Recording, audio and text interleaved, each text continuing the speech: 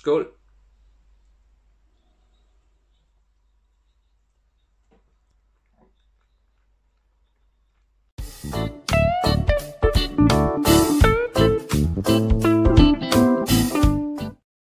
Hello everyone and welcome back to my channel. I hope everyone is feeling awesome today. Today I have a rum review for you guys and I'm trying a new rum out that I have never tried before. Um, if you follow my Instagram channel you have seen, probably seen the story, so you know what kind of rum this is. But I recently had a birthday, and my children, my beautiful, beautiful daughters, had um, actually bought some very, very lovely gifts for me, and um, this was one of them. So, this is the Ron Esclavo. Um, in this pack is a 12 year old, which we're gonna be doing today. There's also a 15 year old, and there's also an XO. So, but that's going to be the upcoming videos. Today we're going to be looking at the 12 year old. Um, I just have my notes here.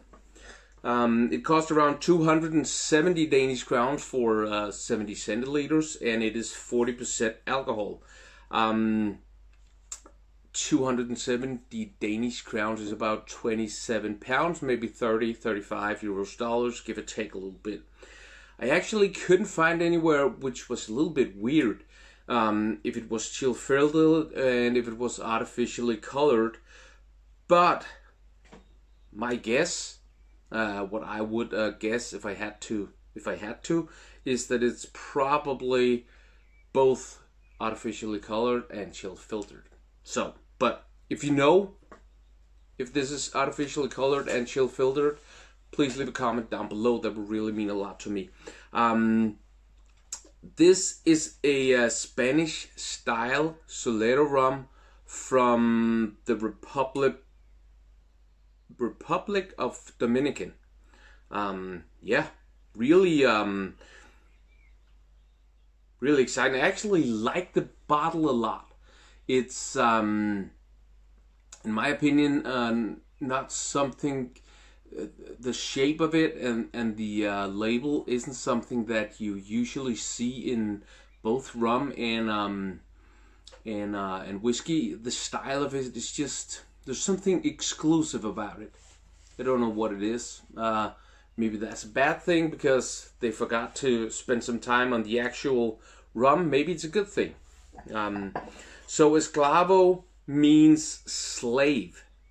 And the reason they call it esclavo is to kind of uh, remember and kind of um, yeah kind of remember uh, all the slaves that had to back in the day way back in the day that had to pay the ultimate sacrifice to continue making rum and these things uh, so yeah that's why they call it this a little bit sad but I think it's a good thing that they, well, try and do something. Yeah. Um, let's see what I've got more here today on this.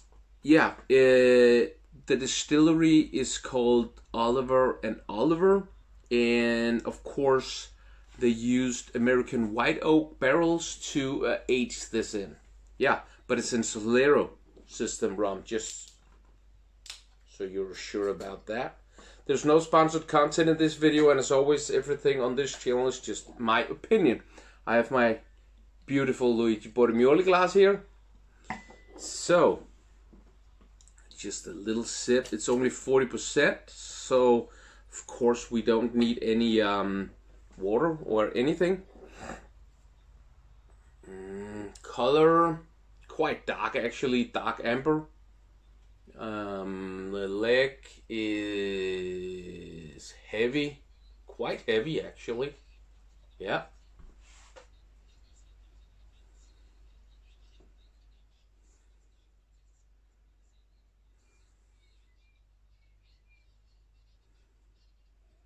It's quite um, it's not it's not powerful on the alcohol, but there's a little there's some sharpness there, and there's actually some uh, alcohol actually alcohol nose to it. Sometimes, normally, the alcohol just gives it some sharpness and some power. This time, you can actually smell the alcohol. I hope you know you. I hope you know what I mean by that. You can smell the alcohol like you would in a, um, which would is very appropriate because of the time now in uh, hand hand uh, alcohol you used to uh, clean your fingers with. That kind of smell is actually in here. Yeah, it definitely is. There's also a little bit of sweetness, a little bit of honey, a little bit of vanilla. There's actually a little bit of um, um, of uh, of wood, of oak, of just a wood feel.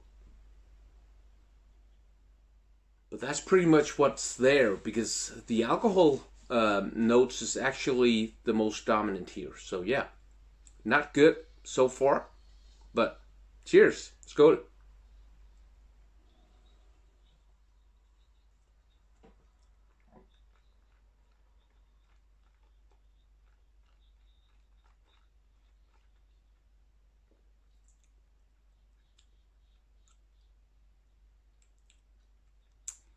So you can't taste the alcohol the same way you can smell it. Uh, the palate is quite uh, boring. There's almost no flavor. Uh, only a little bit of um, a little bit of sweetness and a little bit of uh, of uh, vanilla and honey. And the finish is has a little bit more power, but not a lot. There's a little bit of sharpness, and then there is vanilla and honey sweetness it's a little bit mouth-watering. There's a little bit of um, mm, of oiliness, but only a little bit. And um,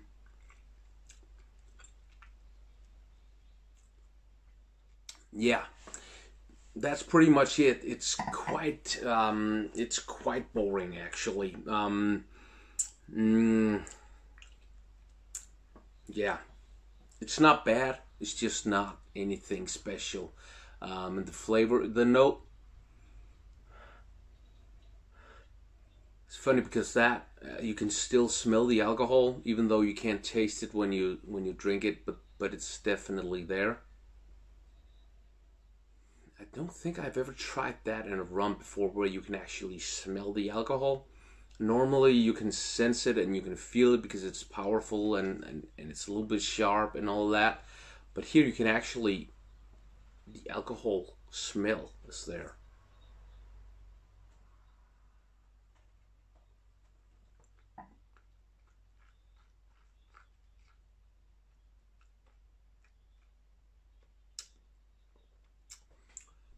The palate has a little bit of uh, bitterness on the side of that uh, just have a little bit of uh, vanilla and honey sweetness and on the side of that there's actually a little bit of bitterness. The finish has that too but not a lot and it, it quite quickly goes away because there's more honey and vanilla sweetness there than there is in the palate. So you kind of almost don't but it's there and they're all there's actually also something else and I'm not sure what that is, but there's something. It feels like there's something there that shouldn't be there. I don't know how to explain that. There's just a flavor at the finish that not the same flavor, but in the same way as when if you watch my beer reviews, you know that sometimes they say that lagers and pilsners have some kind of dirty dishwasher water taste to it, and that's something that shouldn't be there. Uh, this one, this thing is is is not the same flavor or the same taste, but there's something there that shouldn't be there. Some something unclean. That's what it feels like.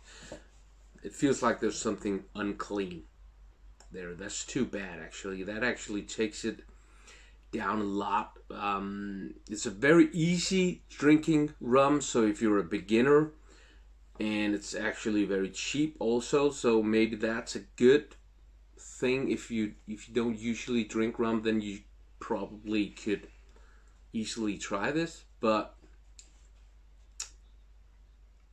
there's some bitterness at the palate and there's something wrong with the finish. There's there's something there that shouldn't be there, I think, and I can't explain what it is. But um, because of that, and because of the alcohol nose, the alcohol aromas when you nose it, I will be only giving this a 5. So quite low. For me, I usually always give quite high um, because I just love these uh, spirits. I don't think I've ever given a rum or a whiskey below 5. I can't remember, so I might have. But I know I have with the beers. Mm, so a 5 for the Ron Esclavo 12 year old. Uh, so, yeah, not a good rum actually. Uh, that's the video for today. If you like this video, please give it a thumbs up and feel free to share it with friends and family. Also, leave a comment down below. Um, I would really appreciate any comments and I will respond to all of them. If you want to see more videos like this, subscribe and make sure to hit that notification button and check all. If you're on a phone, go into your settings and uh, turn on settings from YouTube. That would really mean a lot to me just to make sure you don't miss out on future videos. Also, check out my Instagram account. It is Stonegone underscore. If you like what you see there, give me a follow. That would really mean a lot to me as well.